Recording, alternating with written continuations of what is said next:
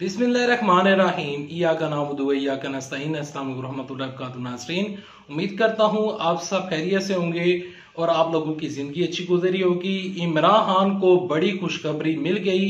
खुशखबरी आगे चलकर डिस्कस करता हूँ, लेकिन उसको डिस्कस करने से पहले आप सबसे छोटी गुजारिश है कि अगर आपको ये वीडियो और ये चैनल अच्छा लगे तो वीडियो को लाइक कीजिएगा, चैनल सब्सक्राइब कीजिएगा और इस वीडियो को अपने दोस्तों के साथ शेयर कर दीजिएगा।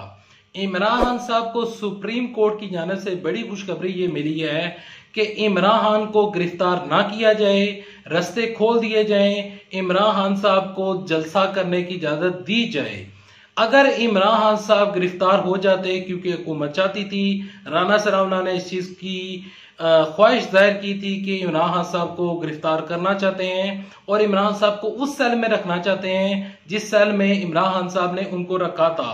तो राना सनावला की जो ख्वाहिशात थी, वो सारी दम तोड़ चुकी हैं। हुकूमत की जो ख्वाहिश थी कि इमरान साहब को गिरफ़्तार करके ये जो इमरान साहब की तहरीक है, उसको रोकना चाह रहे थे तो तमाम तर ख्वाहिशात दम तोड़ चुकी हैं। जलसा होने जा रहा है, जुलूस होने जा रहे हैं और लॉन्ग मार्च होने जा रहा है।